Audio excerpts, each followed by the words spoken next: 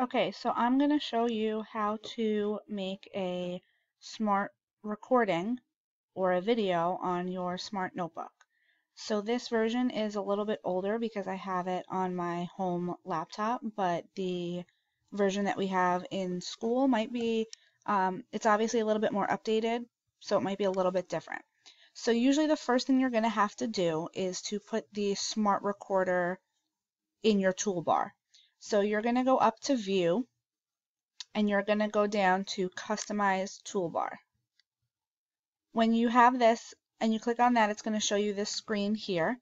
And I think in the one in school, you're going to have to scroll down to the bottom until you see Smart Recorder.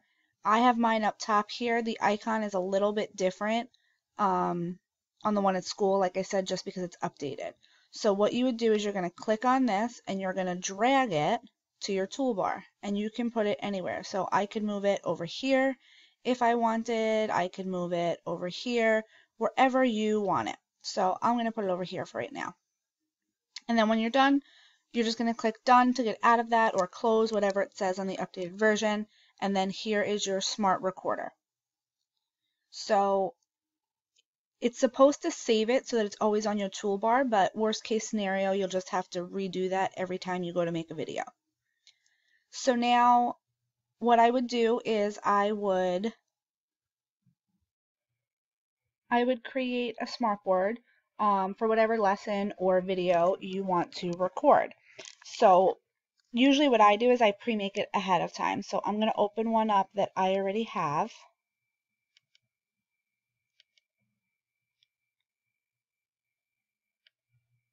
Okay, so here's one that I made on finding the missing terms in an arithmetic sequence. And then if I scroll through, you can see there's just the examples that I'm going to do in the video. So once you have your smartboard made, you're just going to click the smart recorder and then it brings up this menu and you can move this menu around wherever you want it. And there are three buttons on the menu. Record, obviously records pause so you can pause at any time during the video to either stop and you know take a breath or get something to drink or if somebody interrupts you whatever you want and then you just hit record again. And then the stop button stops completely and it saves the video for you. So I use headphones that we have that plug into the smartboard or that plug into the computer um, we have ones that have a USB adapter. Um, they're all different kinds, obviously. And then once you plug them in, it has a microphone attached to it. So I would just hit record. And then what it does is it records anything on the screen that you write. So if I'm writing, or it'll record if I put a shape in, it records the whole screen as I flip from page to page and it also records whatever you talk into them or speak into the microphone. So I can pause it and then I can take a breath and then I can hit record and it picks back up right where I was. And then at the end when I'm ready I hit stop and it prompts me to save it. So you can save it wherever you want. You can save it in your desktop, um, in your documents, in your T drive. Um, just be aware that if you're saving it in your T drive, there is not a lot of space. So what we usually do um, is we'll save it to a USB um, or save it to your T drive and then upload it and then delete it, whatever you want. So I'm going to save this just to my desktop for right now so you can see. And it takes a little bit of time. Obviously, the longer the video, the longer it takes to upload and then it'll bring you to these two options. So you can play the recording right away and hit OK, or you can just hit OK and it'll save it. So I like to hit play recording because I like to be able to just check to make sure that it worked.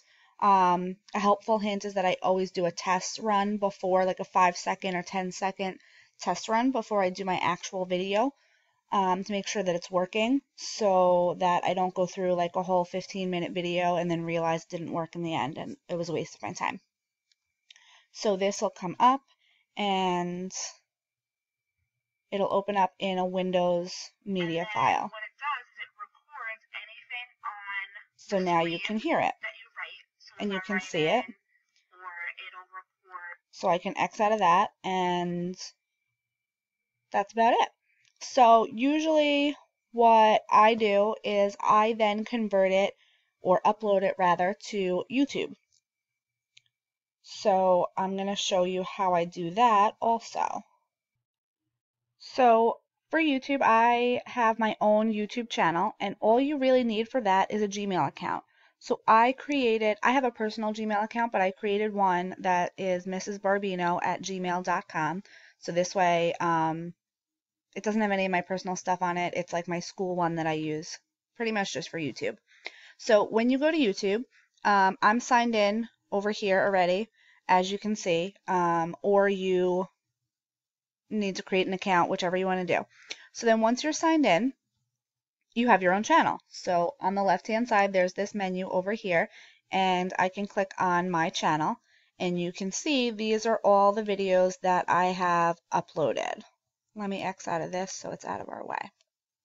So these are all the videos that I have uploaded. Um, it can be viewed by the public, obviously, so if somebody is Googling, you know, how to do function notation, they can see my videos, but I post individual links for my students. I um, keep a link posted to my overall channel on my Edmodo page, and then when particular um, videos pertain to a specific topic, I'll drop them a direct link to that specific video as opposed to the entire page. So I also have playlists that I created for them with different units. So if they click on this playlist, it has all of the videos on this particular unit. So as you can see, they're all short minute, uh, four minute, five minute videos. Um, the longest one here is 11 minutes. Um, but it goes through each of, some of them go through one problem or two problems with them, and they can skip through it, watch it at their own pace. These are just videos that I don't require them to watch. They're supplemental videos.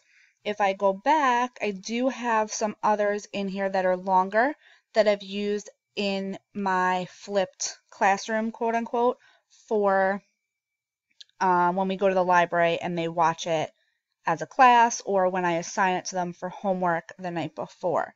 So let me see if I can find one of those because those are a little bit longer.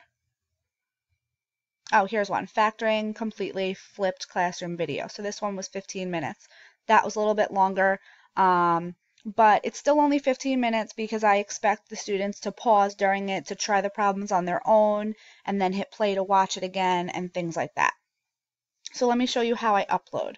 So over here is this little arrow with a line underneath it. That's all you do. Click on that and it'll bring you to this screen. You can either click and drag. So if you have something open in a file, you can click and drag like this and it'll start uploading. Or let me cancel out of that and go back.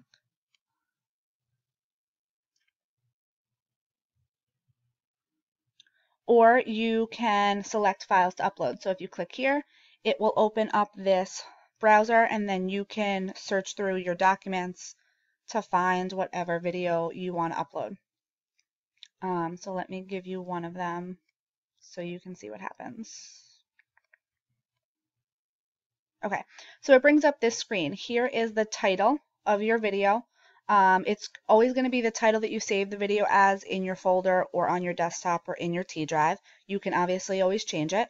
Um, and then you can add a description and then you can add a tag if you want. So I always add a tag like which course it is, just to make it easier for me or for my students. You don't have to add a tag. Um, so I tag them as Algebra 2 or Algebra 1, things like that. Um, this one obviously isn't going to work because it says this video is a duplicate. I've already uploaded this. But if you had noticed, I don't know if it'll let me go back for a second or maybe I can put another one in here. Whenever you're done uploading, you just click this publish over here. Um, and then it's uploaded. So that's pretty much it. Um, and then you can go back and you can see all of your videos on the YouTube channel. And like I said, um, it's pretty easy. It's pretty user friendly. If you have any questions, let me know. Um, I am using this year QR code readers um, on my worksheets, which I have a different video about. If you're interested in using those, um, you can watch that video as well. Hope this was helpful.